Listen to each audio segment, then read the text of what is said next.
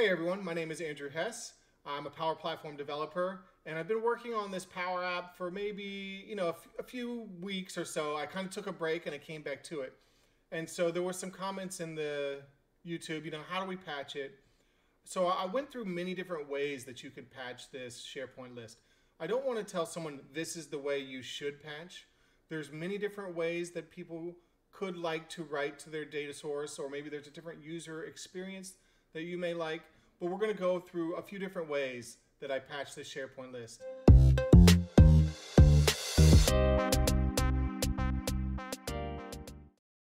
Now there's many different ways to patch. And when I say patch, I mean we're going to write to SharePoint and we're going to show how to write new line items and how to edit old line items. Now, when you think about patching, think of it like Power Automate. What's your trigger? What's going to trigger your ability to patch? So if we have a button and we're outside of the gallery, we can easily patch my SharePoint list, which is project task list. And the one that we can patch is gallery one dot selected. So we're saying, hey, where, where do we want to edit? Where do we want to update the line item and patch to? So the one that we have selected, we're going to patch we can say patch the title with the text title dot text and you know patch the priority with the text priority dot text. And let's see we need a semicolon here that fixes it. I don't want to go through all of them you understand okay? So now we're going to patch if we change this task 1 to task 10 and this will be at the bottom of my SharePoint list and we can change priority to high. We can see right now it's actually task 11 down here. If I patch, hit the button, it's going to write task 10 in high priority at the very bottom down here. So now it says task 10. Now let's say we wanted to write a new line item. So if we wanted to write a new line item, we would take out the gallery one dot selected. So all I have to do is say, hey, you know, patch high risk task. It's going to patch a new line item at the very top, high risk task. It's number 52. Although it's not showing in my gallery, I, I could make this descending. Let's, so now we can definitely see the last ones in our column. So we have my top um, ones at the top in SharePoint are up here. My top line items are now up here. All right, so that's one way to patch is we can just patch from the outside and whichever one we select, we can patch. Now, if we wanted to patch from inside, we could create a button.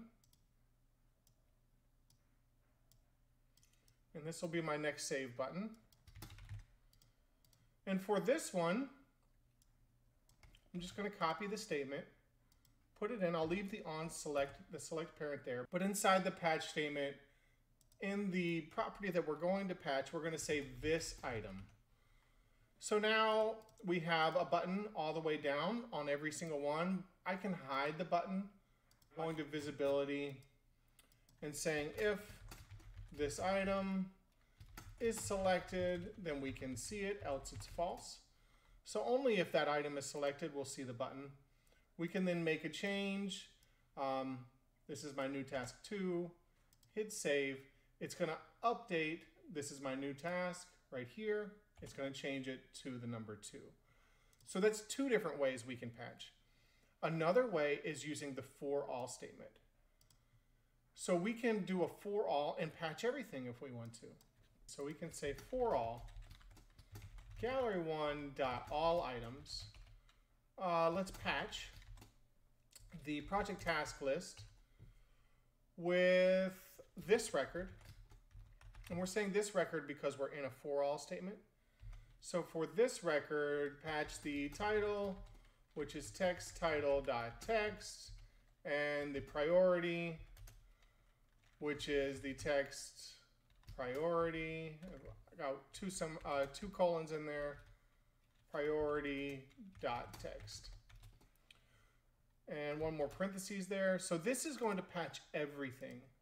So let's say I change this to 2, this one to 3, and we'll put a 2 down here, and a 2 down here. We hit save. it's going to patch everything all the way straight down. So it's going to patch everything all the way straight down that you can see in the gallery. So if you really wanted to make a, a separate gallery or you could make an arrow so you only see the top 50, then you see the top 100, um, et cetera, et cetera. You could patch the entire gallery that way. Another option is to use a collection. So let's say we have a button. So we're going to use this button right here, this save button. And let me highlight this top row. We're going to use this save button. And on the save button, on select, what we can do is we can collect. And we can collect um, a change. So that's just the name of my collection. Um, and then we can say, okay, what are we going to collect? We're going to collect uh, title. And that's going to be text title dot text. And then priority. And that's text priority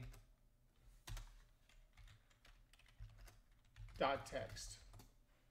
All right, so now we're collecting um, a few fields. You have to be very careful when you do it this way because the titles need to match up perfectly. So priority has to match up perfectly with your SharePoint or your data source. So if you have spaces in there, you have to match them up perfectly. And if it's a number, it has to be a number. So when you do it this way, you have to be very careful. Uh, Power Apps will fight you a little bit when you try and do it this way. We're collecting. So we can collect here. We can move down, collect again, collect again. We can collect, you know, four items. And let's go take a look at that um, collection. Now, one thing I did realize is that I am missing the, the ID. I do need that ID field. So let me pull in the ID field also.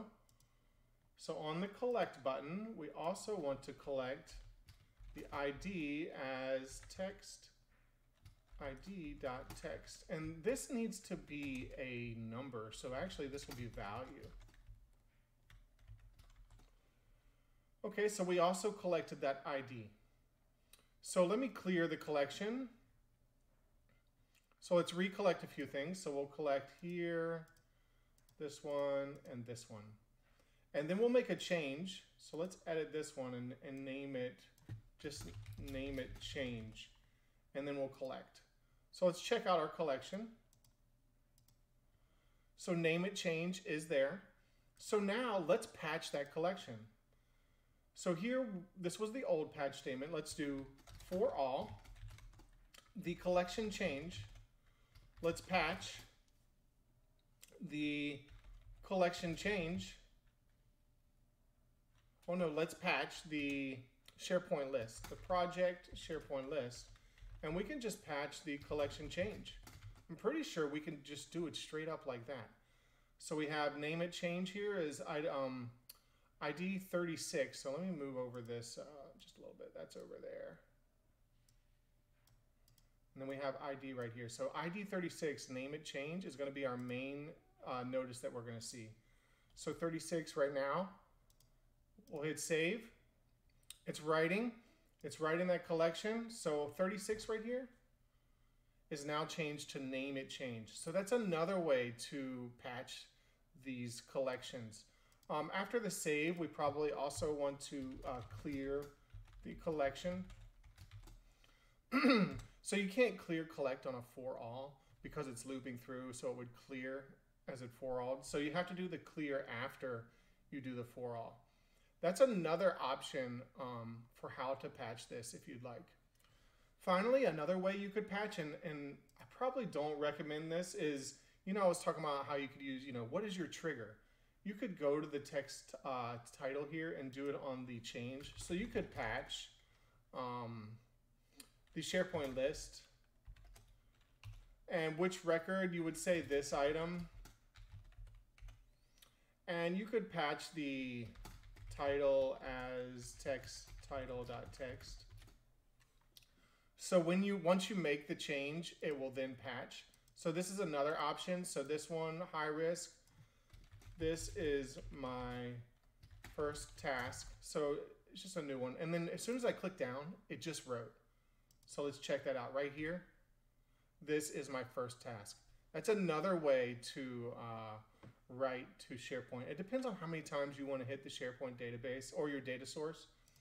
So that is another option is to use the on change property and just, you know, write on the change from low to high. Boom.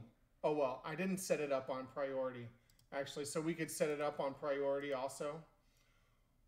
But you have to be careful when you set it up on priority because with SharePoint, title is required also. So don't remove title.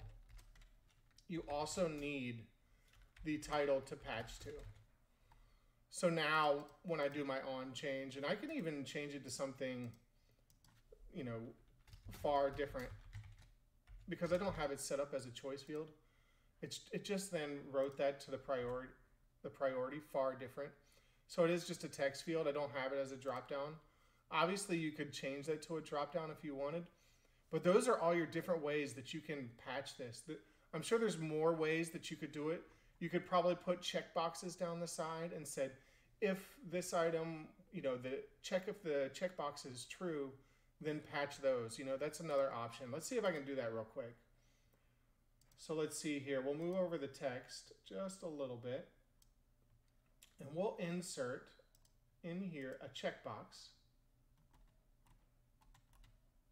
Uh, let's see, a checkbox. So we'll insert a checkbox. And I'll just hide what it says there. And we'll come in here and we'll make a couple changes. Change one, and on this one, we'll do change two. And then we'll check both of these. Okay, so we have both of those checked.